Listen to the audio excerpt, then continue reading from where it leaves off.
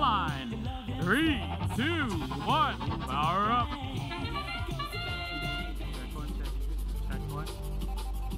All right, and we're short a red robot for this match. Another three on two.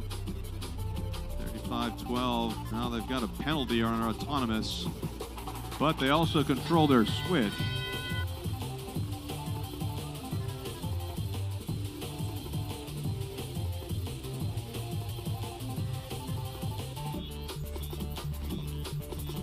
And 24.93, it looks like they had a power cube. But they drop that. They control their switch.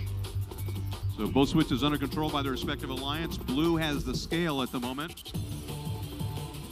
And 35-12 balances out a little bit. You can tell by the flashing lights who's got it. Blue Alliance still retained ownership now. They add additional cube for insurance.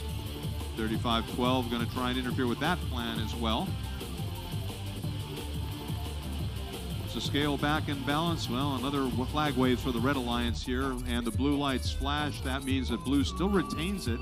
They've deflected the scale just enough by having the cubes far enough away from the pivot point. They're just like one cube ahead of the red uh, team. It's balanced, but this position there. Now let's see if red can take it back. And they do. Now red scoring for the scale. Both switches in play for their respective alliances. No cubes have gone back through the exchange station to the human players to load into the vault. And a red flag again waves.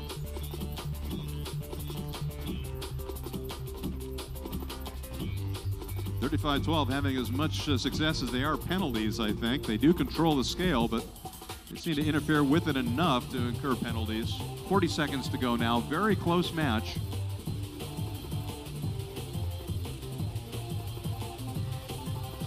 Now three cubes in the vault for the Red Alliance if they play that. Push the button, you can see the five lights. Now 35-12, helping their alliance partner using plenty of time here. Still 20 seconds for 848 to load on up. They've got a virtual climb, so it's possible that they could get a qualification point by lifting all three robots off and facing the boss. But 10, not 7 seconds, 6, 5, they're up. Four, three, two, one.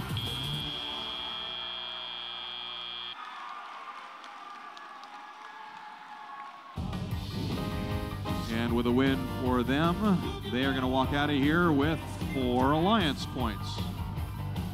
Actually, no, three, excuse me, three ranking points.